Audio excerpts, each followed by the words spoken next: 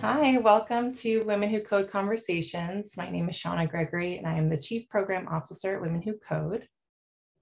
Hi, everyone. My name is Grecia Castaldi. I am the Program Manager of Digital Community at Women Who Code.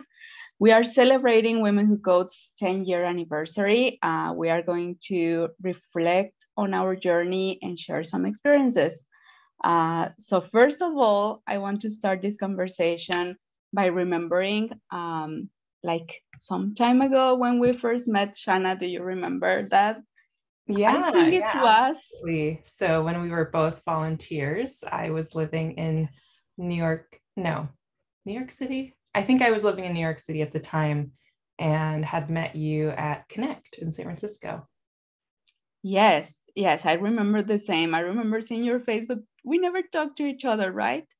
I think we were, I mean, we, we took some pictures, we have some photos together, but I don't remember talking to you. There were so many volunteers. Yeah. Uh, yes. But then the next year we had Connect again um, in San Francisco also. I think it was in Pinterest. Yes. Uh, we had a leadership summit. You were already a full time employee at Women Who Code. And I remember seeing you and talking to you. Uh, and I think I brought you some Mexican candies, right? And snacks. You did, yes. Yes, I remember that. That's one of my favorite things about um, the leadership summits and getting the volunteers together from all over the world is everyone brings their favorite treats and it's just a really fun time. Yes, yes. I also remember that it was amazing, this leadership summit. And then we had the conference, and I remember seeing all these diverse speakers, and it was great for me. I remember um, seeing a speaker from Mexico, actually, uh, a director from Mexico City, Loida. And I said, okay, next year I will be a speaker at Connect. like I, I set my goal there when I when I saw her speaking at the event. And you were. That happened. Yes, yes. it happened. It was digital, I mean, an online conference, but it happened. That's amazing. Yes. Uh, so yeah, where were you at that time? I mean, in 2018, you were still a volunteer. I was a volunteer too. I remember I was working, I think, as a user experience designer uh, here in Monterrey, Mexico. So I had to travel at that time. And I remember going to every talk that was about user experience. You know, I was all into that. Uh, what about you?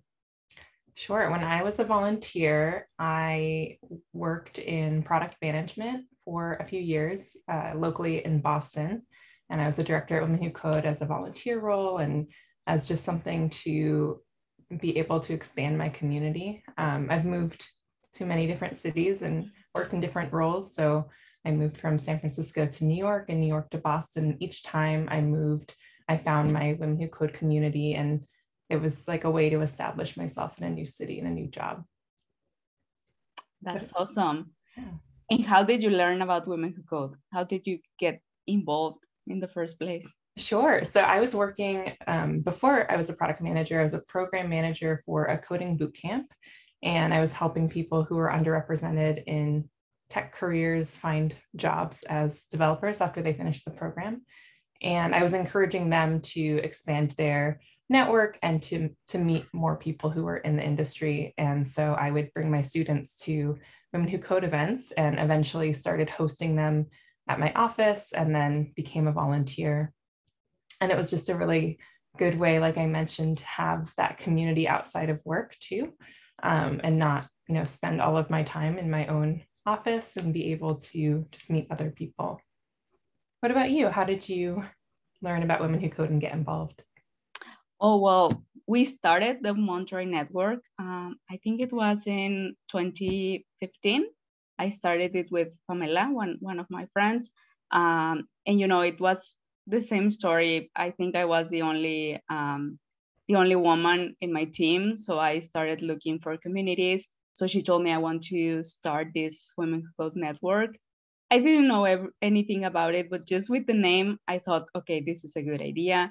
So we started and we had, you know, a few events and very few people came to our events. That's so funny at the beginning. Uh, but you know, with with time, more people started coming and and we had more speakers and more companies wanted to support us. So it was it was great at the end. You know, many people joined, and now it's a big community here in Monterrey. Do you remember your first event that you had? Yes, actually, it was the, the very first Women Code event here in Monterrey. Uh, we had it in a university, my university, actually. I was there. Um, and I think 10 people, around 10 people came to the event. It was okay. I mean, we yeah. had a good conversation. That's great. And I'm sure you made some connections with them because it was such a small group. Yes, that's right. Okay, so now let's talk about the work we do at Women Who Code. Do you want to share your journey here, your sure. initial job, and everything else?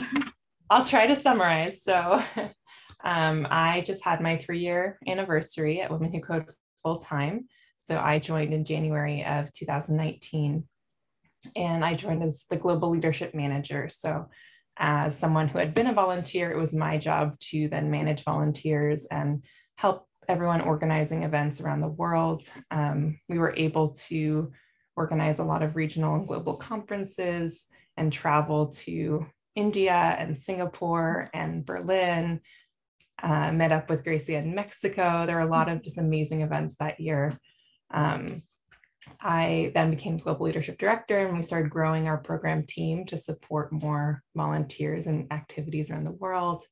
Um, obviously, we've been remote for the last couple of years and um, have been focusing on just expanding our digital communities, uh, which I'm sure Gracie would love to talk about. And my current role is the Chief Program Officer, and I'm working more on the strategic vision of Women Who Code programs. I'm still leading our, our program team, and I'm just really excited to see all the things we're going to do this year. Gracie, do you okay. want to talk about the digital community? Yes, I can start with that. Um, so I was a director, I was a volunteer, then I joined as a full-time employee last year. And now what I do is that I lead uh, the six technical tracks. If you don't know about them, they are blockchain, cloud, data science, front-end, mobile, and Python. So we have these six uh, technical tracks. They are all uh, online. So we have these online communities uh, in Slack, social media, and we also organize events. Uh, so I am leading them. We have one leadership fellow for each one of them. So I am leading the fellows. They are doing a great job. And I also help with um, organizing events for our sponsors. So we have um, usually also track events, but with sponsors. So they are also great because we have great engineers from our partners and sponsors talking about, you know, some technical topics. Um, and I really enjoy what I do. Uh, I wanted to ask you, do you want to share your favorite programs, talks, events, conferences, anything that's your favorite? Sure. Um, let me think. So I would say I really enjoy all of our conferences. I loved attending them as a volunteer and member. I love um, then being on the the other side of actually organizing and attending. It was more fun to attend as a volunteer, but it, it's definitely more rewarding as an organizer to get to um, you know orchestrate all of the people coming together from around the world. Um, now that we have the conferences remotely, obviously there are pros and cons to both and we miss the in-person travel but what we've seen is that there are just there's so much more opportunity for people to join who can't travel to san francisco for several days and take time off from their lives to do so. Um, so i've really enjoyed the digital conferences too. And what's your favorite program event moment that comes to mind?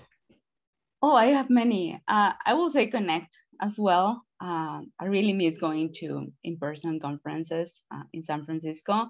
But then the first um, virtual connect that we had in 2020, I think that was my favorite. I was a speaker there and I was so nervous, but you know, when I remember, it's, it's one of my favorite memories. Uh, then here in Monterrey, we had a couple of events for International Women's Day. Uh, it's called We Lead, uh, and they are doing it this year as well. So that was also because it was my first time organizing like a big event when I was a volunteer. Uh, then also when we went to Merida together, we had a leadership summit there, and the anniversary event for the Merida Network. I also like that. And now that I am working with the tracks, all the track events and with sponsors, I really enjoy them. Yes, so uh, I'm going to ask you one more question. If you can share, Shanna, what you have seen over the years, like how it has changed, any good change that you see in the community? Yeah, definitely. Um, I know that when I joined as a member initially, I think we had around 50,000 members for Women Who Code. And I remember thinking that was such a massive number. And now we're close to 300,000. Um, so definitely have seen just growth over the years and the number of people who recognize uh, Women Who Code and our mission and, and understand what we're doing has been really encouraging too. Um, I've seen just people that I've met, you know, six or more years ago who were starting out in their careers or they felt like they were kind of stagnant and not really sure if they wanted to stay in tech. And now so many of them are managing teams or starting their own companies or, you know, just really coming out of their shell. So seeing the career growth of people that I've gotten to meet over the years has been really amazing and rewarding.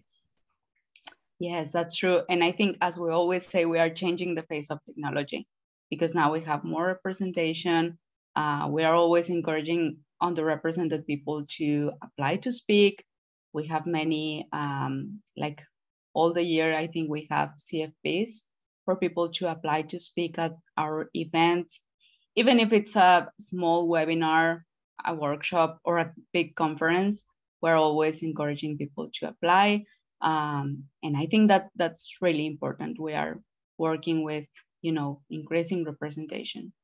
Yeah. And I think it's also important that because we're a global community, people understand that tech and tech companies and people who work in engineering roles exist outside of San Francisco and outside of the United States, outside of Silicon Valley.